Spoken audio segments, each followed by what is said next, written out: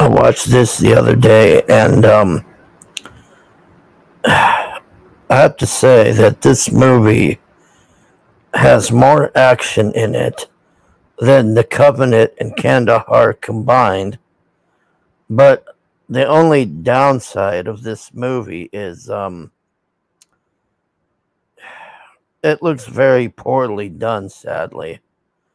So it's basically he just took the Mandalorian and put it in uh I guess Afghanistan or whatever this is. So this this guy he plays this um spec ops guy and they're in this chopper at the beginning and he gets hit with an RPG and then somehow he gets knocked out and he's falling through trees and all this and lands on his back, doesn't get paralyzed or anything. He just gets knocked out.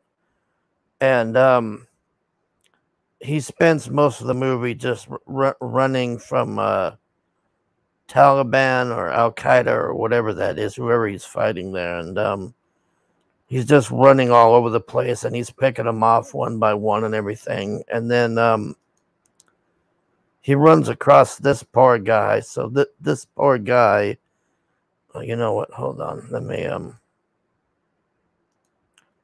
Let's put that on.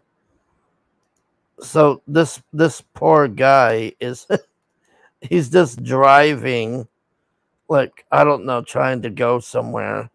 And the Al Qaeda guys that are chasing this dude, they shoot the fuck out of this car, like for no reason too. Like I don't know why they shot this car up. So this guy's dying and he's like my kid my kid you have to help my kid. And um th- this is this is his daughter here. So it's basically mandalorian. He takes the daughter and he's running with the daughter and all these uh al-qaeda taliban guys are chasing him. Oh and this guy they put this guy on here that is like a, a spitting image of Osama bin Laden. I mean, he looks exactly like him.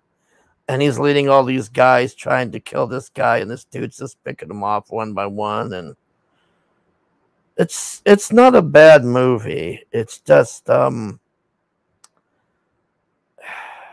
it just looks very crappy. The the effects and everything. Like it could have it could have been way better. That that's the only complaint of this movie is the effects. But the good thing is, this movie is just nonstop fighting from beginning to end, and he's just running and sniping these guys off. A couple here, a couple there, and at the end, he gets stuck in this town, and he's having this huge shootout with these guys. And man, it's the the action is really good on this. That that's the one thing. It's just um I just kind of wish that it had better effects, but I'll take action over effects any day, I guess, because man, it's it's just nonstop action. So um if you don't mind like crappy effects and stuff, but good action. I would suggest this. It's way better than Kandahar and uh, the Covenant put together. I'll say that. I mean, those had huge, insane budgets on it.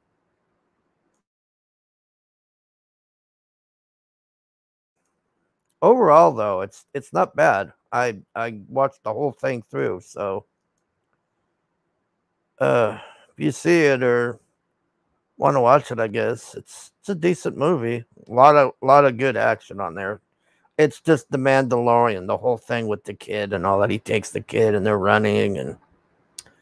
Anyways, um, I guess that's it. I don't really have anything else to say about it. I mean, it's just a really good action movie. It's just shitty effects is all. Like it, you you'll see what I mean if you see it. Like it's just the effects are I don't know. Like I'd hate to say Adobe Photoshopped or something, but you'll you'll laugh on some parts, but the shootouts and everything are really are pretty good.